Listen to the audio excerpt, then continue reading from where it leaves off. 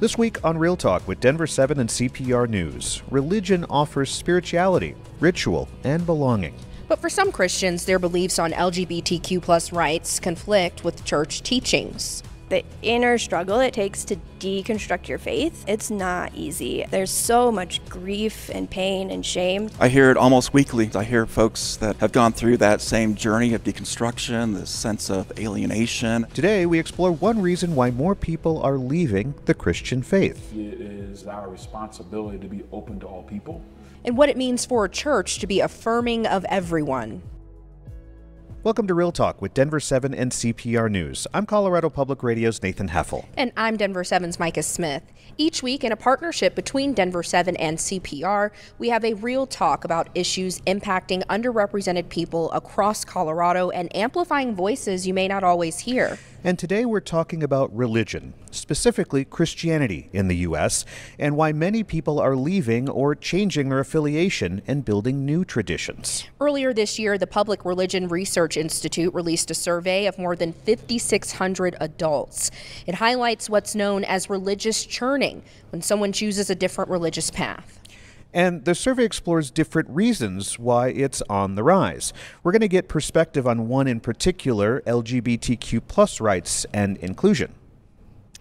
You'll hear from a Coloradan who left their religion in just a bit, but first, let's get some insight with an expert from the Iliff School of Theology in Denver. The Reverend Dr. Amanda Henderson directs the Institute for Religion, Politics, and Culture, and she says for at least 30 years, the debate over LGBTQ inclusion has grown within Christian communities. And so when we peel that back, it's important to understand one, that the Bible actually has very little to say about homosexuality. There are seven texts that get pulled apart by biblical scholars, and those are very contextual and not very clear. In terms of official church doctrine, the Catholic Church does still hold an official doctrine that says that homosexuality is a sin. Their doc- doctrine is rooted more in a hate the sin, love the sinner kind of um, posture Henderson says that there is a range of views within Christian denominations, churches, and communities, and that many congregations have their own statements of belief. That brings us to a key stat from the survey we mentioned before. When it comes to why some people leave their religion, nearly half cited negative treatment of LGBTQ people. That's especially true for younger respondents, primarily those in their 20s, followed by those in their 30s and 40s. So let's have a real talk with Alex Floyd of Denver. They're 33 and their own experience reflects this reality. Alex, thank you so much for joining us for this real talk. Absolutely. Thanks for having me. Where did you grow up and how did that shape your religious beliefs early on?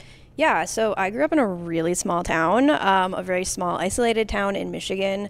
Uh, very conservative, very like quote unquote idealistic on the outside. Um, very Christian based town. Even before we started going to church regularly when I was pretty young, it was just in the water. Everyone was assumed to be a Christian. And, and what made you start to feel differently when it came to Christianity? I think that was a long process. One of the bigger factors was I'm a social worker. I have my master's in social work. And as part of your master's training, you do a lot of internships, real world experience. And my town was probably 99% like white middle class uh, individuals. And so getting out of that town, getting into these different experiences, meeting people who had different stories than I did, I started to realize a lot of things I was taught around like self reliance, independence, being able to pull yourself up by your bootstraps, all those things did not hold up in the real world. Mm. As someone who grew up in the Christian faith myself, I know a lot of times the doctrine says you'll be tested. When you get in the real world, you'll be tested. Yeah. How did you come to the understanding of no, I'm not being tested? This teaching actually conflicts with who I am. I mean, I think that's a great point um, because that that does come up a lot. Like the inner struggle it takes to deconstruct your faith is a lot. It's not easy. And so I went through phases, right? I grew up very uh, fundamentalist conservative. I went to a, like a liberal Christian phase. I and then eventually I realized that there's just fundamental things about Christian faith, even those that are accepting of LGBTQ plus individuals that I just don't agree with. I don't believe people are inherently sinful. I don't I can't align with a God that like punishes half of their creation for all of eternity. Like those things just don't align with my values anymore. And so ultimately, for my own sake and my own health, I, I had to walk away from all that growing up as you did and discovering that you were different. I remember when I came out as gay and I was discovering that I was gay, that there was this internal struggle. And you had on top of that the external struggle of saying this church may or may not jive with what I'm feeling. How yeah. did that work as a kid? I mean, I think for a long time it just kept me in the closet, right? And it kept me unaware of my own desires and things that brought me joy because externally from the church, I was told this is how things are and this is what your life will look like. And it's a very prescriptive lifestyle. And so I learned very quickly to just disconnect from myself and follow that prescription. And so as I started to kind of come back to myself and discover these things about myself, it was it was a big struggle. Um, and like memories almost started to come come back to of like remembering how much I was terrified I was gay as a kid, which I don't I don't think a lot of people who are straight have that fear, right? And so I did a lot of like I would have those fear thoughts and then it was almost like self-conversion therapy of like praying to God like don't let this be true. Look at this cute boy over here, like clearly I'm straight, like really trying to like force that internal narrative. Um, and I never told that to anyone growing up. Like that was just kind of a secret that Inside I kept to myself. You. Yeah. Wow. Well, given that internal struggle, how easy or hard was it to ultimately say, I need to leave this religion that I grew up in? It was incredibly hard. And I think, you know, I heard this when I was in the church and I've heard it outside of the church. There's this belief that people who are walking away from the church just didn't have a strong faith. They didn't have a real relationship with Jesus. All of these things that are said. And like, that's not true. Everyone I know who has had been on this journey, we were in. We were all in. That was our world, that was our community, that was everything. And that process of walking away, I mean, it took years. It wasn't like I just woke up one day and was like, the church doesn't welcome me as a queer person, so I'm just not going to go anymore. Mm. Like it was years of learning from others, deconstruction. There's so much grief and pain and shame to unpack in that journey. Like it's not it's not easy. There's I still still hold a lot of grief to this day when I think about it. Is there spirituality now in your life? Do you have that? Yeah, I think for a while there wasn't. For a while, I just had to walk away from everything. But now for me, it looks a lot like maybe a more general belief, a much more open, like there's probably some sort of energy um, out there. There's just, I've had a lot of experiences that feel very magical or mystical to me. And I don't want to let go of that. I don't have a desire to. And so now I find a lot of that in nature. I find a lot of that in just like the creation of this world and the way that nature evolves and grows and all of the really cool things about that um, gives me that similar feeling of like mysticism and peace. And it's also a place that i can learn. I can learn a lot from nature um, and that's just freely accessible to me. It's just there. Well thank you for taking us through kind of the evolution of your beliefs and it's just beautiful to hear that it's kind of come full circle in a way. Yeah. But Alex Floyd of Denver, thank you so much for joining us for this real talk. Absolutely. So, what does it mean for a church to be welcoming, more accepting, and affirming to the LGBTQ plus community? Coming up, an affirming Colorado church leader on what guides their congregation's practices and beliefs. Stay with us. This is Real Talk with Denver 7 and CPR News. Welcome back to Real Talk with Denver 7 and CPR News. I'm Denver 7's Micah Smith. And I'm Colorado Public Radio's Nathan Heffel.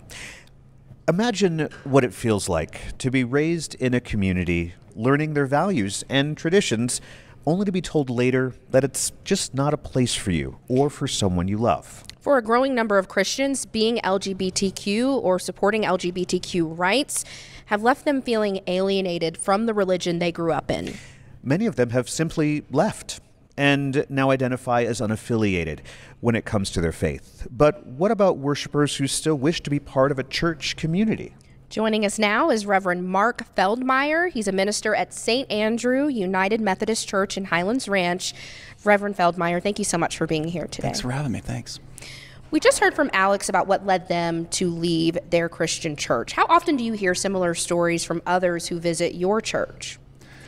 I hear it almost weekly, to be honest. I hear folks that um, have gone through that same journey of deconstruction, this sense of alienation and estrangement from their faith communities, folks that are looking for new pathways of spirituality and new communities. And every once in a while, they stumble across St. Andrew and find a safe sanctuary. This word deconstruction, I, I think it, it may be well known in, in the church community. Can you explain a little bit about that? It, it seems so raw when someone says, I have to deconstruct my life. Correct. It's a, it's a process of, of taking an assessment of the totality of one's beliefs and come to terms with that which we, we can no longer accept as, as reasonable and comfortable within our uh, faith system and learning to accept the fact that we, we can let go of some things and embrace new realities in our, in our faith system. Mm.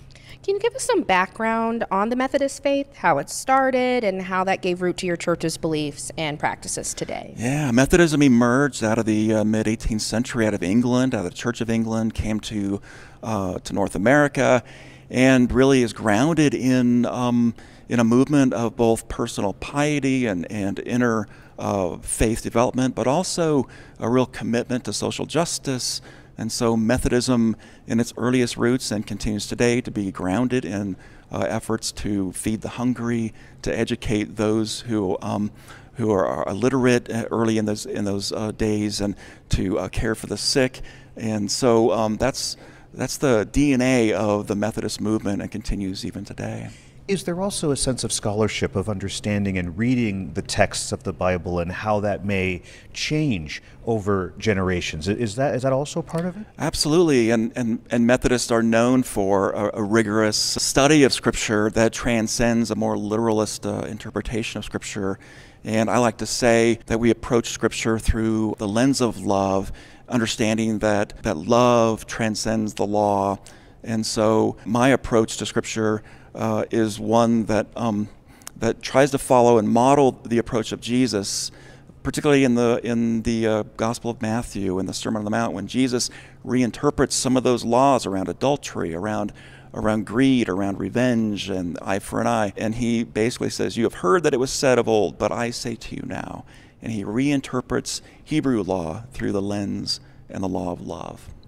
We talked about the word deconstructing. But there are two other words that tend to come up when we talk about this topic, and that is affirming and reconciling. Can you help us understand those words and what they mean for you and St. Andrew? The word reconciling specifically relates to the United Methodist Church and a designation that gets to the heart of the debate within our denomination. Uh, that, that goes to our Book of Discipline, our Constitution that addresses language in our Constitution in which the statement says that homosexuality is incompatible with Christian teaching. The reconciling movement within a Methodist denomination is trying to reconcile those two statements to say there's no longer any incompatibility between those two statements. Affirming takes uh, the next step in saying that every person bears the image and sacred worth of God, and there are no distinctions based on sexual orientation or gender identity. On your website, you mentioned something called radical hospitality. I love that. How else do you practice what you preach when someone who may be coming into your church who is LGBTQ plus is it is it a don't ask, don't tell? Is it a mm. how, how do you approach that? Every Sunday, I begin with a, a very clear statement of welcome, which says uh, no matter who you are, what you believe, or who you love, you are welcome here, and you are affirmed here, and you belong here. And we try to practice and model that by ensuring that there are no barriers whatsoever to participation and, and, and leadership in, in our congregation. And that means that you can, you can receive communion or you can serve communion. You can teach a class, you can be a part of a class. You can serve in any way in leadership up and down the organization in our community with no barriers whatsoever. And what about the makeup of leadership and clergy at St. Andrew? Can you tell us about that? Indeed. We have always made a concerted effort to center voices that are LGBTQ. And so we have clergy on our team that are open and out, and we have uh, members up and down our staff and our leadership of laity who are also out as well. And we are proudly uh, affirming in that way as well. What do you tell somebody, whether in or outside your congregation, who's maybe struggling with accepting someone who's LGBTQ or plus? Again, I get this quite a bit. Folks who are in this uh, journey, uh, as so many are today, and trying to process what it means when their own children or grandchildren come out. And I try to begin with understanding the incredible amount of courage it takes for, especially a young person, to come out to their parents. I try to remind parents and grandparents it takes a lot of courage for that conversation to start and to create safe space for those parents then to process with me not only as a pastor of an affirming congregation but also as a parent of a child who is out and gay as well. Hmm. Mark Feldmeir is the lead pastor at St. Andrew United Methodist Church in Highlands Ranch. Thank you so much, Reverend, for joining us for Thanks this so Real. Talk. Great. Up next, we'll visit another Colorado church whose stance on LGBTQ rights used to be basically don't ask, don't tell. But those views have evolved. Find out why as we continue this Real Talk with Denver 7 and CPR News. Welcome back to Real Talk with Denver 7 and CPR News. I'm Nathan Heffel. And I'm Micah Smith. It's not easy to change long held beliefs, but that's what started to happen at one Denver Baptist church. I'll take you there to find out more in just a minute. But first, let's revisit the 2024 survey from the Public Religion Research Institute. When it comes to those surveyed who no longer identify with their childhood religion, nearly half cited the treatment of LGBTQ plus folks as a reason why. The survey also highlights those who identify as religiously unaffiliated. This includes atheists and agnostics, but most Americans in this category do believe in God or a higher power. And get this when it comes to religious beliefs, the largest group is now those who are religiously unaffiliated. That's more than a quarter of Americans, and of those who left a religious tradition, most were either formerly Catholic or mainline Protestant. Now, Jewish Americans, on the other hand, have a relatively strong retention rate into adulthood, around 77%. The only religious group with a higher retention rate in this survey black Protestants. And that leads us to our next guest to continue this real talk on LGBTQ inclusion and Christianity. I visited New Hope Baptist Church in Denver and spoke with Reverend Eugene Downing about his own transformation of beliefs. Reverend Downing, thank you so much for joining us. Oh, Micah, thank you. It's a pleasure to be with you. So, this episode, we're talking about the LGBTQ plus community and Christianity. Uh, we are inside New Hope Baptist Church, your church, and we know this is a welcoming place for the LGBTQ plus community. But how did you get to this space? Yeah, well, thank you for asking that, and I think it's a really relevant question. I think we got to this space by honestly just following the command of Christ, right? So that while in sort of the public sphere, the conversation about the LGBTQ plus community has become a popular one, the reality is that there are people in the LGBTQ plus community who've you know, been around for quite some time. And so for us, it's not necessarily new. And what we see is, is our responsibility to be open to all people. And that as Christ would have it, that it's difficult for all to be saved if all aren't welcome. And so we just found that as our sort of beginning uh, steps into engaging the entire community that's around us. Yeah, that's a big step because yeah. in, in the black community, I mean, there's research that backs this up. That's not necessarily the case when it comes to being welcoming specifically to the LGBTQ plus community. Yeah, I mean, I do understand that to be the case. It's tough because every one of our families, every facet of our community, uh, is comprised of a variety of people. Right? We're not a monolith, and so um, yeah, it's tough. But we stepped into the space as a result of the incident we saw uh, unfold in Colorado Springs, the shooting at Club Q nightclub, and decided at that point that we needed at least to have a conversation. But I think even before that, the congregation was welcoming. There's a difference between open and affirming yeah. and welcoming. Talk to me about that. Yeah.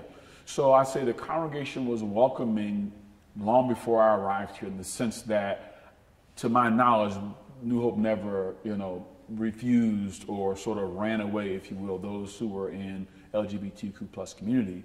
And then at the onset of the incidents we've seen, not just at uh, Club Q, but around the country in the last several years, we decided to have a conversation. And so we uh, held a conversation with us, our leaders of the fellowship it was facilitated by Bishop Kym Lucas, the uh, Bishop of the Episcopal Church of Colorado, And we actually just had a sit down dialogue about uh, what we believe our responsibility as Christians is as it relates to welcoming all, and particularly welcoming those who are hurting, welcoming those who are uh, impacted by violence in our community, who are marginalized, who are disenfranchised socially, in the example of Christ. So throughout the New Testament, we see Jesus going to people who are literally socially ostracized and pulling them in.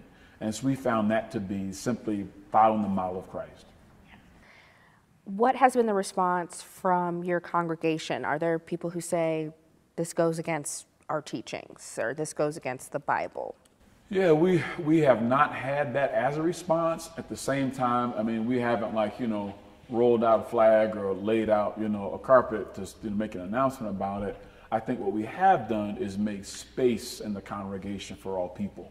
And to this point, no, we've we've had. I will say, first of all, I've had parents approach me appreciative um, because, as you well know, that we have a generation of young people who are wrestling with identity, some wrestling with identity, and as a result of that wrestling and ha- not having a place to go with that wrestling, are going through a myriad of real serious challenges to the extreme of taking their own lives, to the lesser end of just wrestling through their adolescent and young adult years. Yeah. Reverend Downing, are there parameters around this acceptance, I guess? I mean, no. I mean, um, I, I, would say we are really early in the journey, um, but you know, I, I, wouldn't say that we have any parameters uh, other than simply genuinely trying to love other people. Yeah. All right. It's interesting just to hear about your journey because mm-hmm. it's clear that I mean Christianity as a whole has come mm-hmm. a long way, but hearing what's happening here at New Hope in a historically black community, yeah. in a historically black church, yeah. is huge. It is. And to your point earlier, you know, there are some stigmas in historic communities and traditional churches. But one of the wonderful things I love about this congregation is that despite what is known to be traditional in terms of the social mores and folkways, that I believe we're a fellowship that is genuinely seeking Christ and genuinely attempting to love all who come through our doors. All right. Reverend Downing, thank you for joining us thank for this Real Talk. Thank you. Micah, this whole episode has just been absolutely amazing in terms of these these stories of people leaving their faith, coming to their faith, changing their beliefs around their faith uh, in regard to this issue. It's just absolutely fascinating. It is, and I'm really grateful to everybody who was vulnerable enough to share their religious journey with us because this is not an easy thing to actually go through, but then to share it essentially with the world is a whole other task. So we are so grateful to everyone who joined us for this yeah, real talk. It was a real talk. It was. and that is this episode of Real Talk with Denver 7 and CPR News. Every week, we have a real talk on issues that impact Coloradans who are often overlooked. You can find all of our episodes on denver7.com slash real talk or at cpr.org slash real talk. Have a great day.